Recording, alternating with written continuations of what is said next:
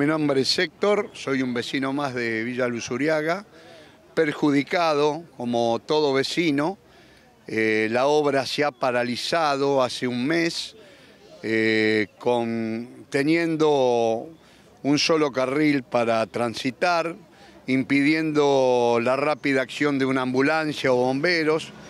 Eh, las calles laterales que salen del barrio hacia Camino de Cintura están todas eh, porque al hacer, digamos, el asfalto quedó a desnivel, no, los vecinos no pueden transitar, tienen que caminar 20 cuadras a las 4 de la mañana para tomar un colectivo para poder ir a trabajar.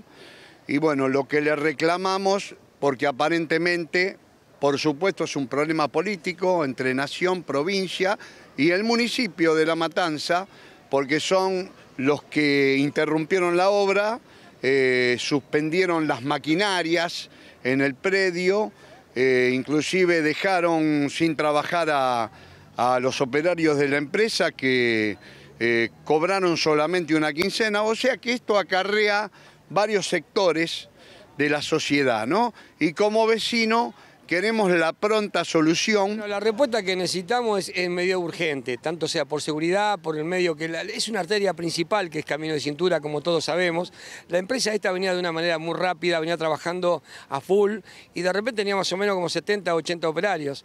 Fueron suspendidos todos, que inclusive la UOCRA ha sido presente ahí, ha hecho marchas.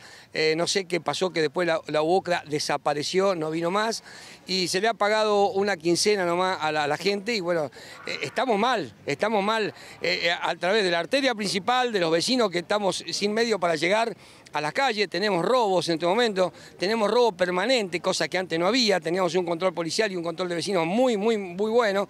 Ahora estamos todos con medio de WhatsApp para dirigirnos de vecino a vecino para que nos cuidemos antes de entrar. Hay una inseguridad terrible pero la arteria principal, cortar camino de cintura, no lo veo conveniente para nadie, ni para transportistas, ni para los medios de nada, de ningún tipo.